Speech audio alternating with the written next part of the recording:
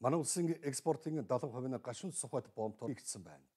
Тус тус бомбтоор өнгөрсөн онд 36.6 сая тонн нүүрс гаргасан бол энэ онд 40 сая тонныг гаргах боломжтой гэж үзсэн.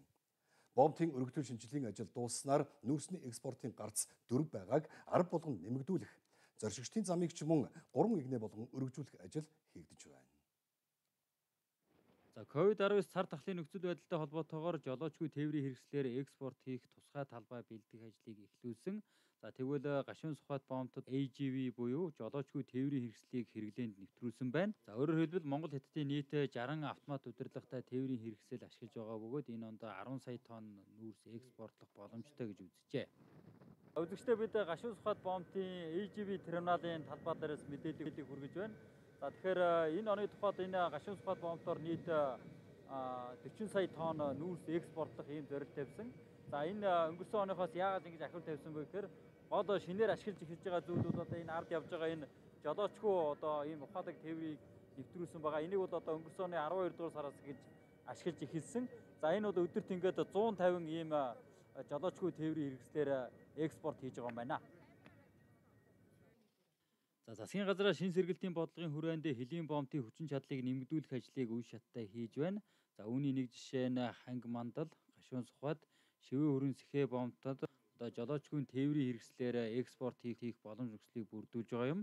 За энэ ажлыг төр хувийн хөгжлийн түншлэлийн хүрээнд төсвөөс мөнгө гаргалгүйгээр шийдвэрлэж байгааг онцоллоо.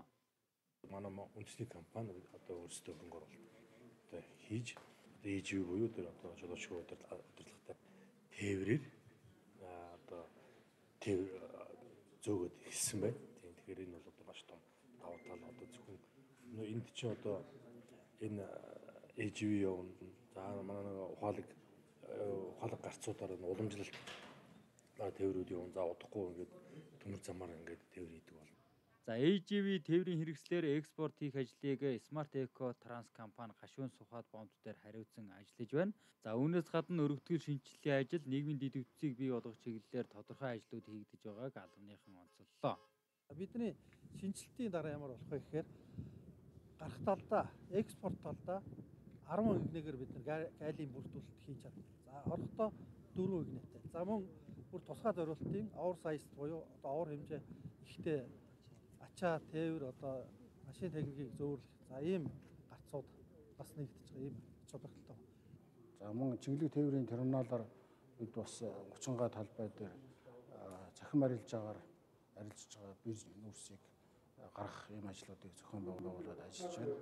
За манай төмөр зүйн бүтээгуулалтын одоо үзүүр дээр шилжүүлэн ачих терминалыг барьж байгуулсан. За за энэ хүү шилжүүлэн ачих терминалаар жилдээ 12.4 сая тонн нуурс экспортлох юм бүрэн боломж бий болно. За одоо ингээд энэ жил жилүүдээр 1 тэрбум 800 сая төгрөгийг аймгийн иргэдийн төлөвлөгчдийн хурлаар хэлэлцэж хоёр бомтод зориулж байна. За энд хамгийн гол юм бол усны судалгаа агуулгын зардал байгаа. Тэгээд энд бол цэвэр ус байхгүй бол бас энэ хэрэглээний ус маш хэцүү байгаа учраас одоо энэ бомб дээр баригдаж байгаа байгууламжууд бол усгүй бол ерөөсөө явахгүй байна. За гашуун цухад бомбын өргөтгөл ашиглалтанд орсноор экспортын хэмжээ нэмэгдэнэ. За улмаараа төрийн байгууллагуудын ажиллах хүчний тоог нэмэгдүүлэх, суурьшлийн бүсдэх эрүүл мэнд боловсролын үйлчлэгийг сайжруулах зэрэг арга хэмжээг авч ажиллана гэдгээ засгийн газрын төлөөллүүд хэлж байлаа.